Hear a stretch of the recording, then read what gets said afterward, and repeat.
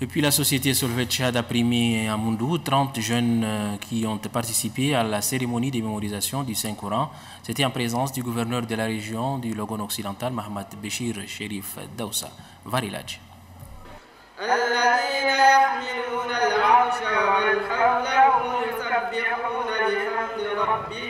La quatrième édition de cette compétition est placée sous le haut patronage du Conseil supérieur des affaires islamiques section de la région du Logon occidental. Des centaines d'élèves, filles et garçons issus des différents centres d'apprentissage et mémorisation du Saint-Coran ont participé à la compétition. Le président du jury a fondé son intervention sur le travail abattu par son équipe. Il a mis l'accent sur l'importance de l'apprentissage du Saint-Coran qui, selon lui, est une obligation à tout fidèle musulman. Lors de la compétition, Mamad Issa Abdraman a reçu des prix d'encouragement des mains du gouverneur de la région du Logono occidental, Mamad Issa Béchir Daoussan. Des prix constitués de motos, d'une enveloppe et des livres saints.